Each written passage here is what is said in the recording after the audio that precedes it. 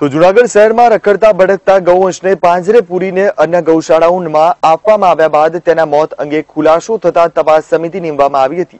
જેમાં બહાર આવ્યું હતું કે અત્યાર સુધીમાં કુલ તેરસો એસી ગૌવંશના મોત થયા હોવાનું મહાનગરપાલિકાએ સ્વીકાર્યું છે.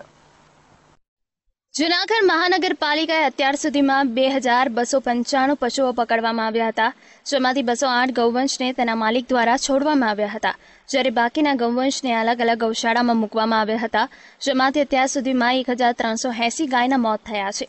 જ્યારે બાકીના ગૌવંશને જે તે ગૌશાળામાં રાખવામાં આવ્યા છે અને ઇઠ્યાસી ગાય એક ગૌશાળાના સંચાલકે પોતાના સગાબાળાઓને આપી હોવાનું કબૂલ્યું છે. એ કરાર ખતને સીધે સીધું એક્ઝિક્યુટ કરવામાં આવ્યું કે એની અંદર જે મહત્વની વિગતો હોવી જોઈએ કે ગૌવંશનું મૃત્યુ થાય તો આપણને જાણ કરે, ગૌવંશ માંદું થાય તો આપણને જાણ કરે એવી વિગતોનો એની અંદર અભાવ હતો. અને આને કારણે આપણે ત્રણ વસ્તુ બનવા પામી છે. એક તો કે કેટલ પાઉન્ડ સુપરવાઇઝરશ્રી દ્વારા જ્યારે ગૌવંશ આપણે મૂકવા જઈએ, ત્યારે જે જૂના મૂકેલા ગૌવંશ હોય, એની પણ પૂછપરછ કરવી જોઈતી હતી અને એની વિશે માહિતી મેળવવાની જરૂર હતી.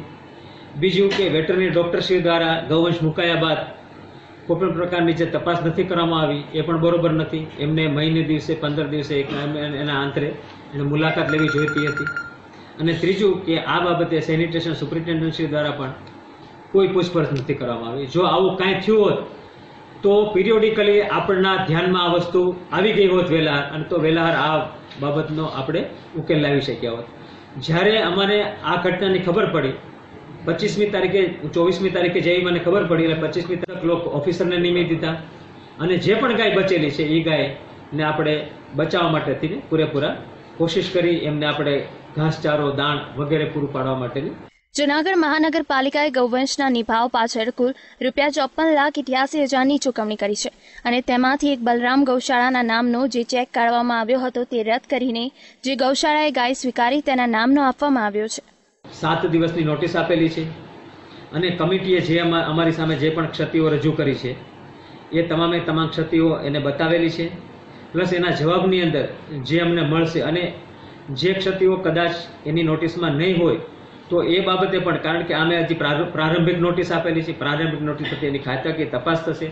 જે બીસીએસઆરના રૂલ્સ ને રેગ્યુલેશન પ્રમાણે એની પર દરેક ઉપર કાયદાકીય પગલાં લેવામાં આવશે અને પગલાં કડકમાં કડક લેવામાં આવશે. સર કોને કોને નોટિસ આપી અમે નોટિસ ત્રણ જણાને આપી છે. એક તો પેલા મિસ્ટર વાણિયા છે પછી મિસ્ટર શેખ છે અને ત્રીજા મિસ્ટર મકવાણા છે. જૂનાગઢ મહાનગરપાલિકાએ ગૌવંશના મોત માટે બેદરકારી દાખવનાર એનિટેશન સુપ્રિન્ટેન્ડ અતુલ મકવાણા અને વેટરનરી તબીબ ડોક્ટર રાહુલ વાણિયા સહિત કુલ ત્રણ કર્મચારીઓને નોટિસ આપી સાત દિવસમાં બેદરકારી અંગે ખુલાસો કરવા જણાવ્યું છે. જે આવ્યા પછી આગળની કાર્યવાહી કરવામાં આવશે. વૈશાલી કગરાણા સાથે લાઈવ ગુજરાત ન્યૂઝ જૂનાગઢ.